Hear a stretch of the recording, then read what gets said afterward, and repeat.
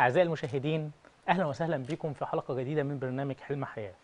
آه النهاردة في البداية وقبل ما أبدأ الحلقة حابب أهني المخرج المتميز جدا الأستاذ وليد عمارة. النهاردة عيد ميلاده وحابب أقول له كل سنة وأنت طيب وعقبال 100 سنة. والنهاردة حلقتنا هنتكلم فيها عن القانون وعن الضريبة.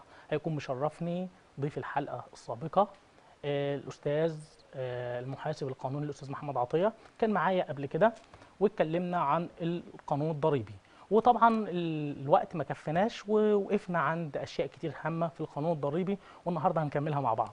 أستاذ محمد عطية نورتني وشرفتني. أهلا وسهلا. أهلا بيك.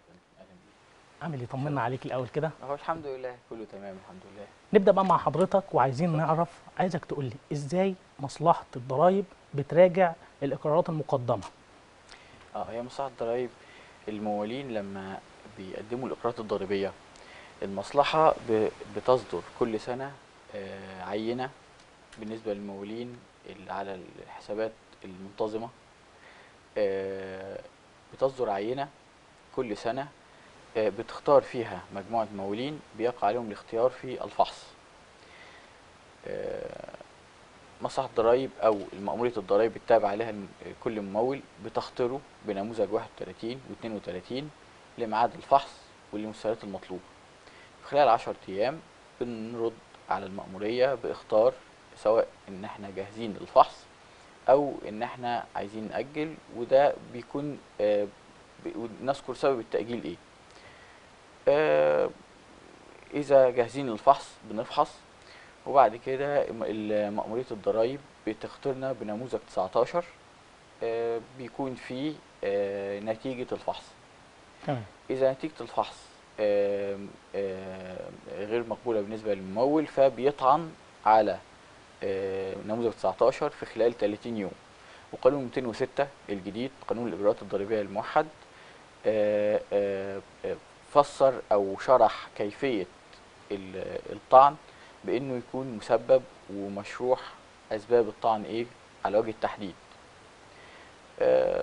بعد كده بنطلع الدرجه الثانية من من في حالة الخلاف إلى اللجنة الداخلية. اللجنة الداخلية هي مش منوط بيها الفحص هي منوط بيها آه، آه، دراسة النقط الخلافية اللي هي آه، معترض عليها الممول. الممول قبل من ناحية قبل يحل النقط الخلافية دي مع ال- ال- اللجنة اللجنة الداخلية. واللجنة الداخلية برضو قبلت. بيتفقوا وبتبقى موافقة لجنة داخلية. آه، ما ما ما ما اتفقوش على ال- النقاط ال- الخلافية. لجنة اللجنة الداخلية بتحيل الخلاف إلى لجنة الطعن الضريبي. تمام. طيب هو الكنترول بس بيقول لي خد فاصل ضروري. اخد الفاصل وبعدين ارجع مع حضرتك. اتفضل.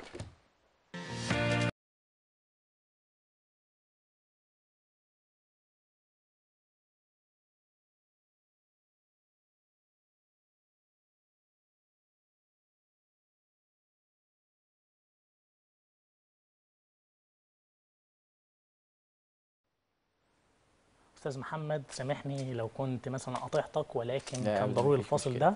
لا نكمل بقى. وقفنا عند لجنة الطعن تمام. عايزك تكمل لي بعد كده حضرتك تمام. قلنا الخلاف بيحال إلى لجنة الطعن الضريبي. لجنة الطعن الضريبي بتصدر قرار آه، بما تراه مناسب طبقا للقانون من تقييم الضريبة أو تقييم الوعاء. تمام. لو الممول آه، برضو لسه معترض على قرار لجنة الطعن من حقه إن هو يطلع للقضاء المحكمة أو اللي هي آه، ال- آه، آه أو اللي هي آه، مجلس الدولة. تمام. آه، وهنا في سؤال مهم آه، بيتسأل. متى يكون الربط نهائي؟ يكون الربط نهائي يعني واجب الأداء آه، إما الإقرار المقدم نفسه في حالة إنه ما يخطرش في العينة إنه يتفحص. تمام. اتنين. إحنا قلنا طبعا. إن إحنا هنتكلم إيه قبل الحلقة بشكل مبسط تمام؟ هو ده بشكل مبسط عايزك تبسط شوية كده. هو ده ده بشكل مبسط بس هي اللي هو هي ال- المسمى ده. انه إنه إحنا قلنا إحنا شرحنا يعني إيه العينة. قلناه تمام. ف فالإقرار أو ال- ال- اللي لما يختارش إنه في, في العينة إنه يتفحص ده كده يبقى اعتماد يبقى كده ربط نهائي لأن الإقرار في حد. ذاته ربط. فبقى نهائي أصبح نهائي لما يعدي السنة من غير ما يختير إنه يتفحص. تمام. تاني حاجة عدم الطعن. يعني أنا ما أطعنش في خلال 30 يوم الطعن آه، ال- ال- ال- المذكر شكله المذكور شكله في قانون 206 طب لو طعنت أنا خلال 30 يوم؟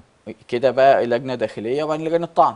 مم. إنما لو ما طعنتش بيبقى حاجة اسمها آه، آه، عدم طعن. ربط عدم طعن. الربط ده بيبقى نهائي إلا لو أنا فتحت باب الطعن. وده ليه آه، آه، إجراءاته. تمام. يبقى دي تاني شكل من أشكال الربط النهائي. تالت شكل موافقة اللجنة الداخلية. أنا طلعت اللجنة الداخلية ووافقت آه، اتفقنا ووافقت. يبقى ده كده ربط نهائي. رابع شكل قرار لجنة الطعن. لو حتى طعنت على قرار لجنة الطعن في المحكمة قرار لجنة الطعن واجب الأداء حتى لو أنا طاعن في المحكمة. مم.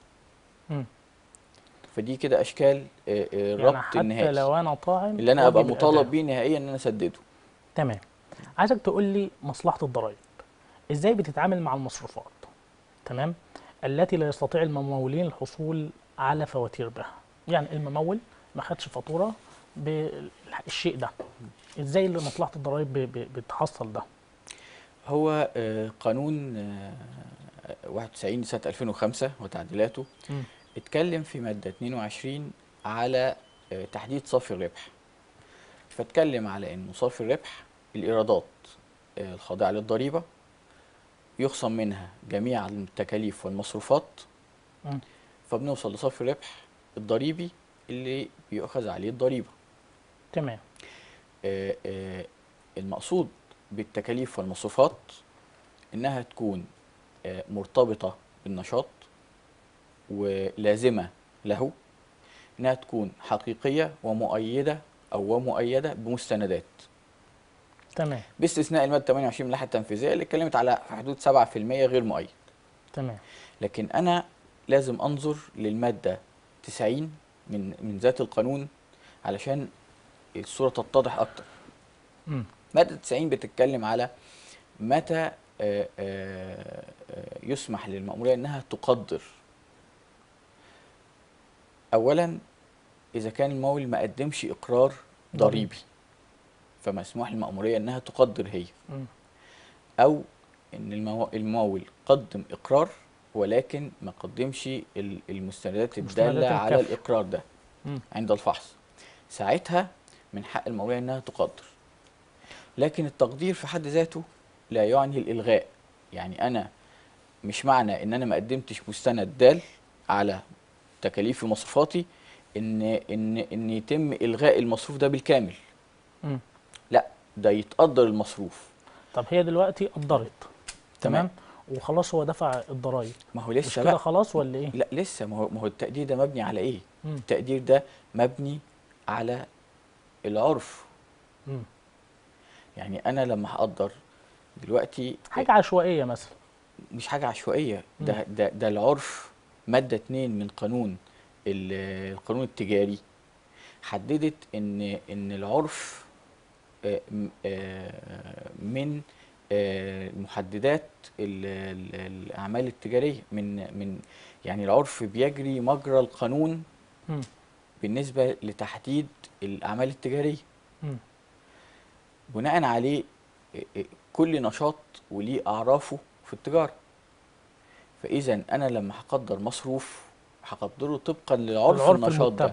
آه أنا مثلا نشاطي مثلا إن أنا آه بورد آه بضاعة معينة قابله للكسر تمام. العرف إن أنا لازم أورد البضاعة دي في في آه آه مثلا حاجات كرتون أو تحفظها. حاجات تحفظها من الكسر. مم. ده العرف. مش معنى إن أنا ما عنديش تكلفة مستند تكلفة. بال بال بال بالحاجات اللي هي اللي تحفظ ال- من الكسر يبقى كده إن أنا ده. بالكامل. ولكن لا تقدر. قيمة ليه تمام ما تقدرش بالكامل تاني حاجة اللفظ نفسه لفظ آه، آه، مستند أعم وأشمل من لفظ آه، من من مجرد حاجة معينة مم. بناء عليه الرأي إنه إنه المستند بيبقى في صالح الطرفي الطرفين المستند صالح الطرفين. لكن لو ما فيش مستند بطبيعة عرف النشاط ده وعرف التكلفة دي حاجة تقديرية يعني. يبقى لازم تقدر مش تتلغي بالكامل. مم.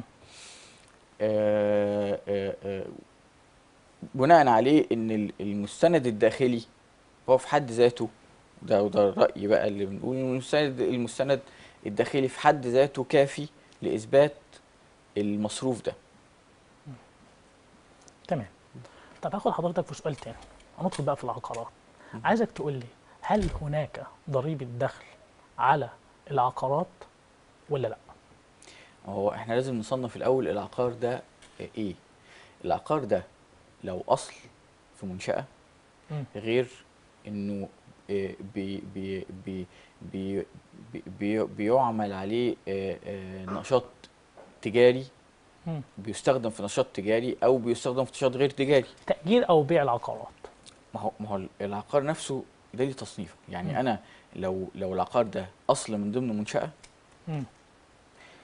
ده آه، آه، إذا نتج على بيعه ربح فبيضم مع صافي ربح المنشأة ككل وبيحاسب المحاسبة آه، طبقا لقانون الضرائب. إذا كان العقار ده أنا بأجره أو ببيعه على اعتبار إن أنا ممتهن مهنة التجارة والبيع والتأجير في العقارات يبقى النشاط ده نفسه نشاط تجاري. وهيخضع برضو لل- للضريبة التجارية. مم. إذا كان العقار ده آه، آه، بستخدمه في في نشاط غير تجاري يعني يعني مثلا واحد بيأجر أو بينقل مثلا من مكان لمكان فباع العقار. آه، بقى باع العقار. ده هنا مش تجاري. مش تجاري مم. مش تجاري لأنه مش ممتهن المهنة دي إنه بيزاول بيع بيع العقارات. يبقى هنا ما عليهوش ضريبة دخل؟ لا عليه ضريبة دخل وهي التص... ضريبة التصرفات العقارية 2.5% مم. من قيمة ال- من القيمة البيعية. لو كان بيأجر بس بشكل غير تجاري عنده عقار معين وبيأجره بشكل غير تجاري بيخضع لشق الثروة العقارية. بيبقى الإيراد السنوي مقابل 50% من التكاليف والمصروفات. ولو عنده مستندات أعلى ممكن يحطها برضو. آه، آه، صافي الربح بيتشرح برضو بالتشريح الضريبي اللي توصل بيه للضريبة. تمام. ده لو مش تجاري 2.5% طب لو تجاري بقى؟ ما ه- لا ما إحنا قلنا لو تجاري. ما إحنا قلنا لو تجاري بيبقى النشاط ده نفسه آه، تجاري. يعني النشاط نفسه إن أنا لا الضريبة بقى يعني حضرتك قلت لو مش تجاري 2.5% لو تجاري بيبقى قد إيه؟ يعني كام في المية؟ ما هو بقى لو لو فردي لو بيزاول كفردي مم. تمام ده ليه تشريحاته الضريبية. مم. إنما لو شركة بيبقى شريحة واحدة 22.5% 12 ونص 22.5 22 ونص. تمام. طب عايزك تقول لي حضرتك هل يمكن أن شخص يطبق عليه أكثر من نوع ضريبة ولا لا آه طبعا ممكن في حالة إنه مثلا ندي مثال دكتور مم. دكتور بيعمل في مستشفى فهيفرض عليه ضريبة المرتبات وهو في حكمها لأنه موظف في المستشفى دي مم. لكن عنده عيادة فهيخضع ل- ض- ل- ل- للضريبة بتاع العيادة. آه لا, هيخضع برضو لشق المهن الحرة إنه مهني. مهن حر مم. في في في فيخضع للشق ده برضو يعني. يخضع لإنه آه، موظف لأنه بيمارس ويخضع لإنه نشاط نشاط آه هو نفسه أجر كثروه عقارية. هو نفسه باع بيعة غير تجارية. ساعتها بي بي بي بيجمع كل الأوعية المختلفة دي أو كل مصادر دخله المختلفة في إقرار واحد آه، إقرار آه، شخص طبيعي وبيضمها كلها في وعاء واحد وبيتحاسب عليها ضريبيا ولو كان استقطع منه ضريبة دفعها خلال الفترة زي مثلا كسب العمل هو استقطع منه كسب العمل هو بي- بياخد مرتبه. فمن حقه إن هو يخصمه من الضريبة المستحقة عليه ويدفع الفرق وهو بيقدم الإقرار. تمام. نسمع عن نظام الدفعات المقدمة. تمام؟ عايزك حضرتك تكلمنا عن نظام الدفعات المقدمة وتشرح لنا هو إيه نظام الدفعات المقدمة وإزاي بيتحسب ولماذا سمي بنظام الدفعات المقدمة. تمام. هو نظام الدفعات المقدمة الفكرة فيه إنه أنا مطالب وأنا ببيع آه، أو أنا بشتري مطالب إن أنا اخصم على المنشأة اللي بتبيع لي وأورد لها. تمام. وكذلك العكس. وأنا ببيع أنا مط... أنا وأنا ببيع الشخص اللي بيشتري مني أو المنشأة اللي بتشتري مني مطالبة انها تخصم عليا وتورد لي. عليا تمام فإذا آه، آه، أنا آه، آه، عايز أقول للمنشآت أو يعني رافض ان أنا حد يخصم عليا ويورد لي بيبقى دافع لأنه مؤقت لازم يديني لازم يديني اشعار بده. فإذا الموضوع ده فيه صعوبة معينة أو أو ف لو أنا رفضت المنشأة هي اللي هتساءل قانونيا لأنه لأنه لازم هي اللي تخصم لازم هي المسؤولة عن الخصم والتوريد. فأنا بروح لمصلحة الضرايب أو مأموريه الضرايب بالتابع ليها ولا لو سمحتي بقدم طلب وبقول لها إن أنا عايز أندرج تحت نظام الدفعات المقدمة. اللي ما حدش يخصم عليا فيما إن ما بعد. حدش يخصم عليا على اعتبار إن أنا بدفع مقدم الضريبه مقدما تحت الحساب وبتديني ما يثبت إن أنا أندرج تحت نظام الدفعات المقدمة اللي بيطلب مني إنه يخصم عليا بوري له إن أنا آه، أندرج. طبعا أنا بتكلم بأسلوب بسيط يعني. مم. بندرج تحت نظام الدفعات المقدمة. وده المطلوب إن إحنا نتكلم بأسلوب بسيط. آه،. حاضر. بندرج تحت نظام الدفعات المقدمة.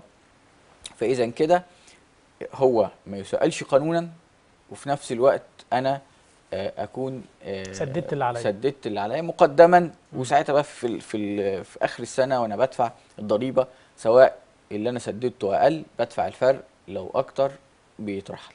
لذلك سمي بنظام الدفعات المقدمة لأن بيبقى فيه دفع مقدم.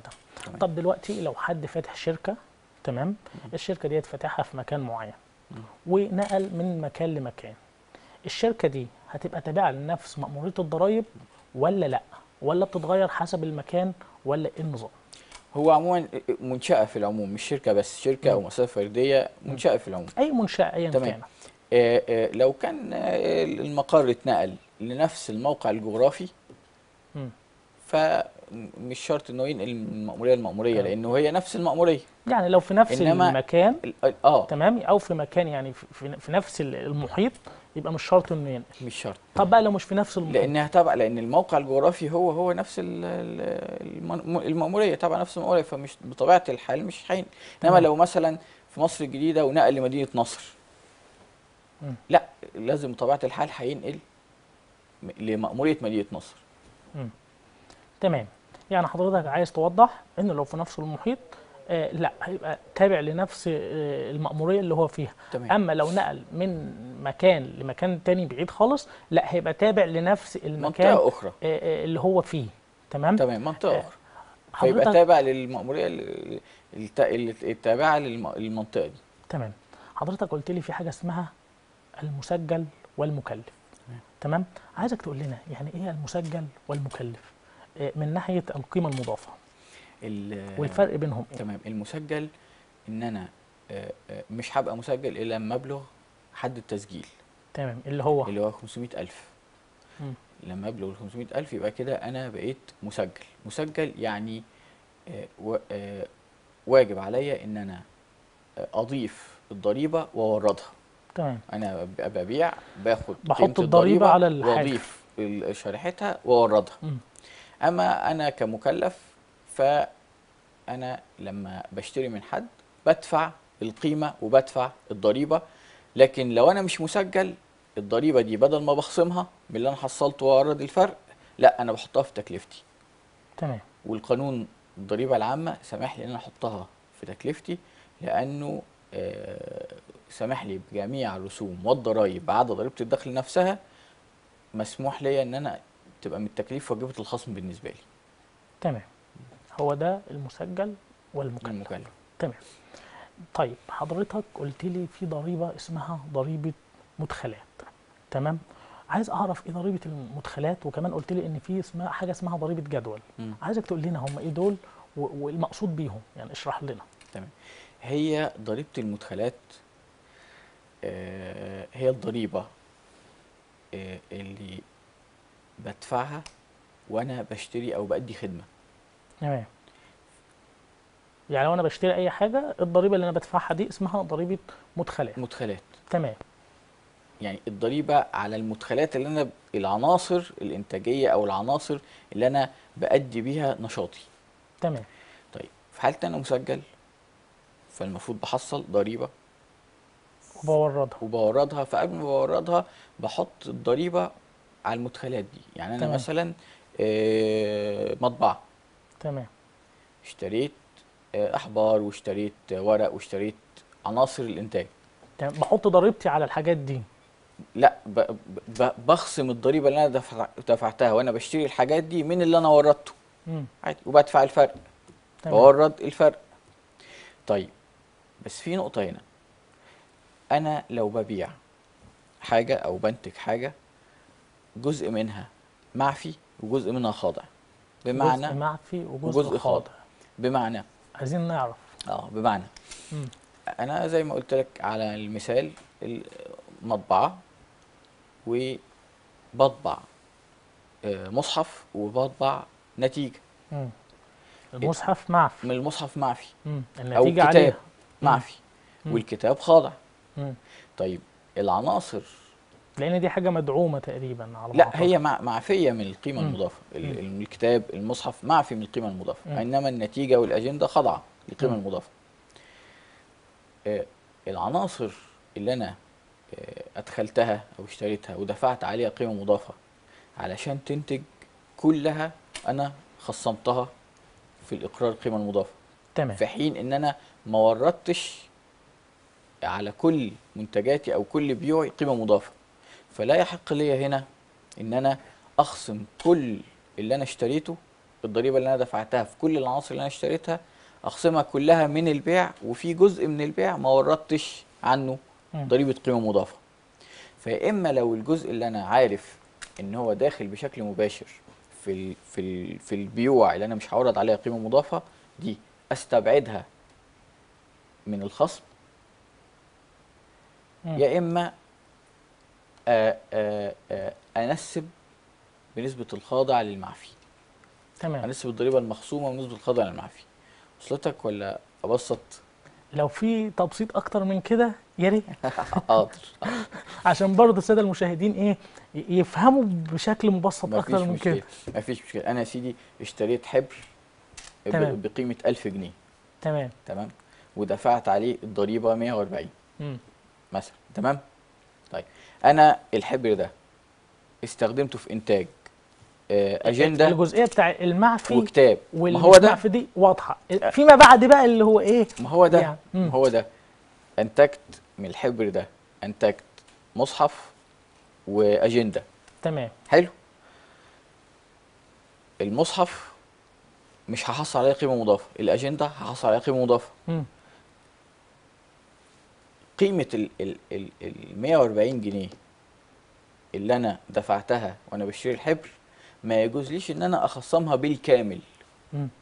ليه لأن قصادها في عنصر استخدمته في إنتاج في تمام. الإنتاج بالحبر ده معفي معفي مم. فما يجوزليش إن أنا أخصم ال 140 دي كلها بالكامل مم. لا أخصم جزء, جزء منها على بسيط. قد اللي أنا حصلته بحسبة معينة تمام. بس ده ببساطة. بس كده. إيه رأي حضرتك؟ ناخد فاصل ثم بعد ذلك نستكمل الحديث. اتفضل. أعزائي المشاهدين فاصل ثم بعد ذلك نستكمل الحديث مع المحاسب القانوني الأستاذ محمد عطية.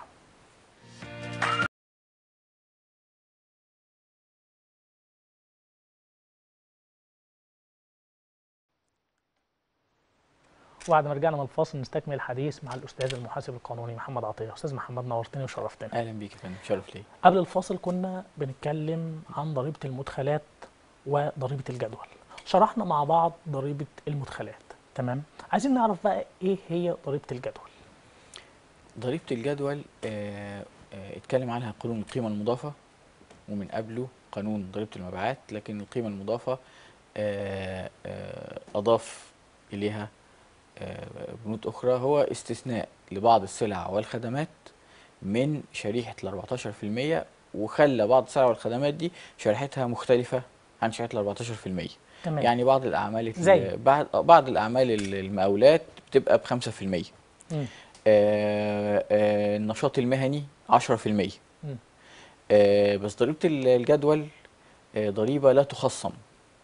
يعني أنا لما أدفع ضريبة جدول ما خصمهاش من اللي أنا محصله وارد أمال. لا آه، بتتحط في؟ تكلفتي. مم. تكلفتي. أنا آه، آه، دفعت ضريبة. آه، ضريبة جدول أنا بحطها في تكلفتي على طول ما بخصمهاش في الإقرار. بستفيد منها في ال في ال في الضريبه في في الضريبه يعني في الضريبة التجارية. الإقرار الضريبه ال- التجاري. تمام. آه، آه، ولا آه، و- ولا يخصم منها. يعني هي لما أنا آه، بحصلها ما بتتخصمش منها. ما اخصمش قصادها حاجة. أدفعها أوردها بالكامل للمأمورية. تمام. آه طب ليه مثلا الأعمال زي المقاولات والأعمال اللي زي ديت اللي بتبقى مثلا يعني بقى لها استثناء خاص بيها؟ هو القانون استثناها. آه، آه، لأسباب معينة. آه، من ضمن استثناءات أخرى مش بس المقاولات. طب أنا ف... أنا ليها. ليها ليها ليها آه يعني في- طبيعة في معينة. شروط معينة يعني ده اللي ح... لا ال- هو هو القانون استثنى. ضريب بعض أعمال ال- المقاولات ضمن ال- ضمن السلع أو الخدمات إنها ما تبقاش شريحتها 14% تمام. ربما لتخفيف الضغط على ال- ال- القائمين في الأعمال دي. تمام. هسألك بقى سؤال بيتردد في بيتردد في أذهان الكتير دلوقتي تمام؟ طيب. آه الناس بتتشكل مع بعض بسبب السؤال ده. ضريبة العقارات. يعني الواحد اشترى العقار الضريبة على مين؟ يعني أو واحد مأجر. آه المستأجر أم المالك؟ يعني أنا دلوقتي أهو مأجر. من أي حد عقار. مم. وأنا قاعد بالإيجار وفي واحد إيه صاحب العقار. مم. صاحب العقار ده هو ال- اللي من المفترض يدفع الضريبة ولا أنا المأجر الغلبان مين آه. فيهم لا بص يا سيدي ال ال الضريبة نفسها الضريبة مم. العقارية نفسها على العقار مم. بناء عليه آه، مصلحة الضريبة لما بتخاطب بتخاطب المالك ال- المالك مم. لكن لو ال ال نص عقد الإيجار على إن المستأجر هو المتحمل الضريبة العقارية في فترة تأجيره مم. فوجب على المستأجر إن هو اللي يدفع الضريبة مم.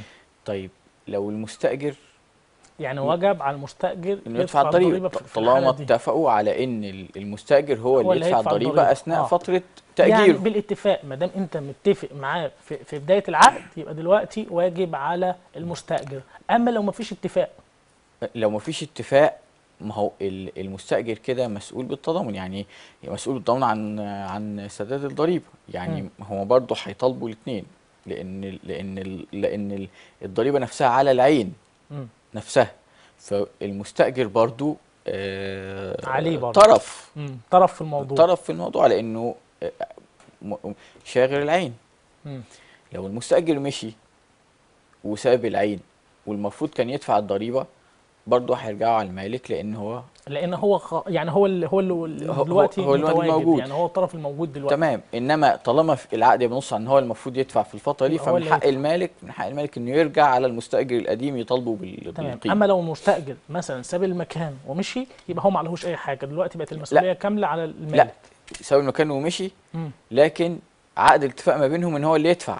فمن لا لا ما فيش المالك عقد. إحنا بنتكلم لو ما فيش ما عقد. ما فيش عقد خلاص. يبقى خلاص كده شكرا. إنما لو لو في عقد بيلزمه إن في فترة استئجاره للمكان يدفع من حق المالك إنه يرجع عليه طيب ده الإيجار. لو أنا بقى اشتريت عقار. والعقار ده عليه ضرائب أساسا. بس أنا اكتشفت ده بعد ما اشتريت يعني. أنا اشتريت لقيت نفسي يعني عليا ضرائب قد كده أعمل إيه هو اولا قبل ما تشتري عقار لازم ب ب ب لو لو العقار ده كان كان شركة مثلا. في الحالة دي لازم آه، آه، تعرف تروح مأمور الضريبة التابعة ليها وتعرف العقار ده المديونات اللي عليه إيه. آه، في الحالة دي لازم آه، آه، تسوي المسألة مع اللي أنت بتشتري منه بحيث إن أنت هتشتري. وأنت كده دلوقتي اللي هتبقى مسؤول بت... مسؤول عن سداد بالتضامن معاه.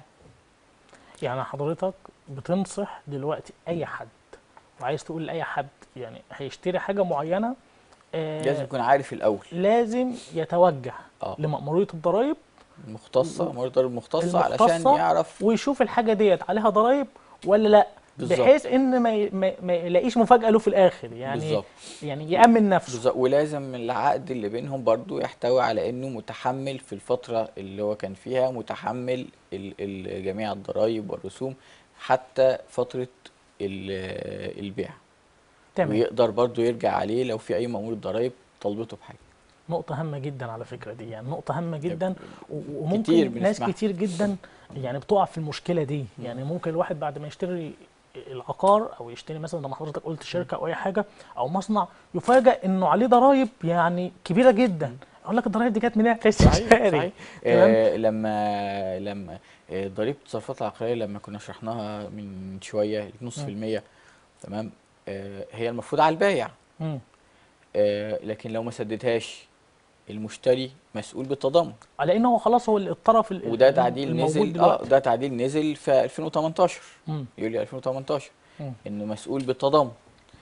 ولا هيعرف يغير عقد إيجار ولا حي... ولا هيعرف سوري يغير آه، آه، كهرباء. ولا- لا ال... ال... الايصال كهرباء ولا هيتعطل ولا مية ولا. أي حاجة معينة ولا يدخل أي خدمات إلا لما يدفع الضرائب دي. آه، يعدل بقى يعدل باسمه الكهرباء يعدل باسمه كذا يدفع يسجل. كل شيء معلق كل شيء معلق بسداد سداد الضرائب. تمام. وقفنا في الحلقة اللي فاتت عند المساهمة التكافلية. تمام. والوقت خلص وما شرحناش هي إيه بشكل مفصل تمام إحنا دلوقتي قبل ما الوقت يخلص حاضر في عينيا. اشرح لنا إيه هي حاضر المساهمة التكافلية هي لمواجهة تداعيات كورونا المساهمة مم. التكافلية على عاملين لمواجهة تداعيات كورونا آه، دي واحد في المية من صافي الدخل للعاملين في المنشآت. آه، صافي الدخل ده يعني إيه؟ يعني ما يتقاضاه العامل مخصوم منه التأمينات اللي بتخصم عليه ومخصوم منه ضريبة كسب العمل إن كان عليه ضريبة كسب عمل مم. لو الصافي ده آه، آه، لحد 2000 لحد قيمته لحد 2000 فيعفى من إنه يتخصم منه الواحد في المية المساهمة التكافلية لو تمام. أعلى من 2000 فالمبلغ كله بيخصم منه واحد في المية ويورد آه، على رقم حساب معين تمام يعني لو 2000 جنيه آه ما بيتخصم ما بيتخصمش منه الواحد في المية. تمام. تمام؟ معفي فيما أقل. تمام؟ مع آه طبعا. أما لو زيادة عن 2000 هنا. بيتخصم منه. القيمة كلها بيتخصم منها. تمام. آه طيب هاخد حضرتك في سؤال تاني. تمام؟ آه دلوقتي حضرتك قلت لي وهنتكلم عن قانون التأمينات. تمام؟ عايزك تقول لنا إيه أهم النقط اللي فارقة بين قانون التأمينات الجديد والقديم. تمام. قانون التأمينات ال- القديم آه، كان آه، آه، العامل بيؤمن عليه بأجر أساسي وأجر متغير إن وجد الأجر الأساسي بيكون آه، آه، 14% منه على العامل. مم. و11% على الأجر المتغير. دول بيخصموا من العامل ويوردوا له في هيئة. التأمينات ده الاجتماعية في القديم. في القديم. تمام. والمنشأة بيخصم آه، آه، المنشأة بتدفع على كل عامل 26% من أجره الأساسي و24% من أجره المتغير. تمام. لكن ال 26 وال 24 كانوا آه، مصروف على الشركة بتدفعه. ولذلك ده كان بيخصم أو يعتبر من التكاليف والمصروفات واجبة الخصم. مم. القانون الجديد خلى الشريحة آه، 18 و75 على العامل و25% على المنشأة أو على صاحب المنشأة ولكن آه، مش أجر محدد أساسي وأجر متغير والبدلات في القانون في البدلات كانت لم- طالما ما بلغتش ال 50 ما, ما, ما تجاوزتش 50% فغير خاضعة للتأمينات. تمام. إنما القانون الجديد كل ما يتقاضاه العامل بحد أدنى 1000 بحد أقصى 7000 كل ما تقاضاه العامل يخضع للتامينات ما عدا 25% مقابل ال ال بدل السكن أو بدل السفر ده آه، آه، بيعفوا من التأمينات. تمام. ده في الجديد. في الجديد. تمام. دي نقطة. دي في نقط تانية مثلا مهمة جدا. يعني فرقت. أنا بقول لك اهم نقط باختصار زي ما أنت. بتقول لي إنما. إنما آه هو آه آه لازم إنه إنه المنشآت تأمن ده اوفر من إنها ما تأمنش أو تأمن بقيم ضعيفة مم. ويكتشف ده وتتغرم غرامات طائلة تمام يعني حضرتك دلوقتي بتنصح كل صاحب منشأة إنه يأمن عشان ما. ما. لو هو ما أمنش آه، هيلاقي نفسه دفع غرامة أكتر من التأمين ده صحيح يعني- صحيح يعني- القانون آه لما نزل ال- ال- القانون الجديد لما نزل آه المعنى فيه ده مم. يعني أنت ادفع ضريبة عشان تحمي نفسك يعني ادفع. ضريبتك تحمي نفسك صحيح والضريبة ديت يعني هتنفعك بعدين أحسن ما تلاقي الغرامة ومش هتستفاد بيها إنما ضريبة التأمينات أنت هتستفاد بيها صحيح حضرتك قلت لي إن في ضريبة بتفرض على الموظفين والعاملين. تمام؟ عايزك تكلمني بشكل موضح عن الضريبة دي. هي ضريبة المرتبات وما في حكمها. آه، ضريبة على ال- العاملين في المنشآت. هنتكلم عنها برضو طبعا بشكل مبسط ومختصر. تمام.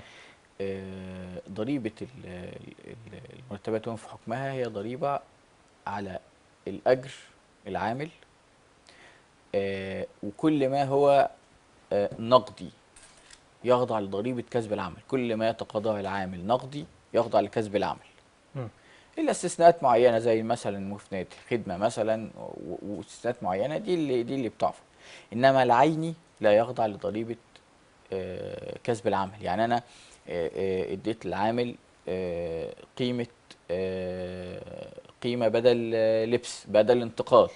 طالما قيمة نقدية تخضع. قيمة عينية جبت لنا اللبس جبت لنا ال- المواصل لا يخضع. لا تغضب لا يخضع عليه هو. مم. لأنها مش نقدية. لأنها مش نقدية. مم. وجماعية. تمام. آه أما النقدية بتتحسب فردية. لا النقدية بتضاف على آه آه إجمالي دخله. مم. يعني مثلا هو لو مرتبه مثلا 2000 مثلا وأنا اديته قيمة نقدية مثلا بدل لبس أو بدل أي حاجة مثلا 500 مثلا تمام يبقى ده هي كده ده. اتحسب إن هو مثلا بيقبض مثلا 2500 تمام فلذلك آه، بتحسب القيمة دي بتحسب القيمة دي بتحسب القيمة مم. دي في وعاء واحد مم. وبيطرح منه التأمينات اللي عليه اللي المنشأة خصمتها لأن المنشأة هنا هي المسؤولة عن خصم التأمينات من من العاملين لديها وتوريدها لهيئة التأمينات لهيئة التأمينات لهيئة التأمينات بعد خصم ال ال ال ال- التأمينات على مم. العامل آه، آه، بتتحسب ضريبته وبياخد شرائحه المعفية وإذا كان عليه يعني بيتخصم آه، شرائح شرائح المعفية الأول إذا نتج عن ده صافي أو إذا نتج عن ده وعاء. خاضع لسه لضريبة لضريبة كسب العمل فبتحسب طبقا للشرائح وبيتخصم عليه ضريبته وبياخد صافي أجره. تمام. هاخد حضرتك في سؤال تاني. على الإقرار المعدل؟ المرة اللي فاتت يعني ما عرفناش نتكلم عن الإقرار المعدل بشكل كافي. تمام؟ فعايزك تكلمني عن الإقرار المعدل بخصوص ضريبة القيمة المضافة. هو في ضريبة إقرار معدل في القيمة المضافة وإقرار. معدل في الدخل. هو الإقرار المعدل وبرضو اتكلم عنه قانون 206 الجديد قانون الإجراءات. اتكلمنا عن قانون 206 بشكل مفصل الحلقة اللي فاتت. تمام. آه، يعني لا ده بعض النقط فيه. تمام. آه، خدنا أهم النقط آه، يعني. أنا بس النقط أوضح. للساده المشاهدين إن لو ما حدش عارف قانون 206 ده إن إحنا بالفعل اتكلمنا عنه. لو عايز يشوف آه، أو يعرف أكتر عن قانون 206 يرجع للحلقة اللي فاتت. تمام تمام. بعض النقط الهامه طيب آه، نرجع لل- للاقرار ضريبه ال- الإقرار المعدل. أيوه. ده في أنا مثلا اكتشفت خطأ أو سهو وأنا بعد ما أرسلت الإقرار أو بعد ما. قدمت الإقرار. لو اكتشفت ده وقدمت الإقرار المعدل في خلال نفس المهلة فيعتبر الإقرار المعدل إقرار أصلي بمثابه تمام. الإقرار الأصلي لأن في نفس الم- نفس- المهلة اللي أنا فيها في نفس المهلة مم. آه، آه، لو عدت المهلة اللي هي شهر من بعد انتهاء المهلة أقدم فيها الإقرار المعدل تمام آه، بمعنى إنه مثلا إقرار القيمة المضافة بتاع شهر يناير أصبح دلوقتي في آخر فبراير مم. لو أنا قدمته في آخر فبراير واكتشفت خطأ أو سهو وقدمت معدل برضه في آخر فبراير يعني لحد آخر فبراير كده الإقرار المعدل ده يحتسب كإقرار أصلي بمثابة الإقرار الأصلي. لو أنا ما قدمتوش حتى فبراير فهي لحد مارس أقدمه. تمام. وكذلك الضريبة العامة. تمام. ده الإقرار المعدل. تمام. آه بنسمع أو حضرتك قلت لي إن في حاجة اسمها إمساك دفاتر منتظمة. مم. تمام. عايزك تقول لي يعني إيه امساك دفاتر منتظمه امساك الدفاتر ال- المنتظمة يعني إن أنا أسجل دفاتر معايا دفاتر مسجلة مم. أهم ما فيها اليومية العامة والجرد. آه، آه، والقانون برضو 206 اتكلم عن إني لازم أسجل دفاتر إذا تجاوزت ال 500 ألف جنيه آه، رقم أعمال تمام آه، أهميتها إنه يقع عبء الإثبات على المأمورية في حالة آه، آه، زي ضريبة إيه. المسجل والمكلف هنا يعني 500 ألف جنيه زي المسجل هنا آه دي في القيمة المضافة مم. أما. دي في في التسجيل الدفاتر بقى مم. لل- للإجراءات قانون الإجراءات إن أنا بسجل دفاتر مم. عند ال 500000 لما اجاوز ال 500000 تمام آه، آه، وهي أهميتها بصراحة إنه آه، آه، أنا عندي حسابات منتظمة آه، مؤيدة آه، ما ما ما يعني يقع عبء الإثبات لو لو في حاجة آه، مثلا مأمورية الضرائب آه، شايفة إنها آه، مش مناسبة أو حاجة فعبء الإثبات عليها في تمام. إنها هي اللي تثبت عكس كلامي تمام. إنما آه، آه، آه، في التقديري اللي هو بدون حسابات منتظمة أو بدون دفاتر بدون إمساك دفاتر آه، من حق المأمورية إنها تقدر ما تراه بشكل مطلق سواء في الإيراد أو في المصروف. طيب الممول بيستفاد إيه من الدفاتر دي ما إحنا ما قلنا بقى الحتة دي آه. إنها آه، بيستفيد إن إنه ال- ال- مأمورية الضرائب آه، آه، عبء إثبات ما يخالف الممول ما قدمه في الإقرار عبء الاثبات عليها أنا. مقدم إيرادات ومصروفات.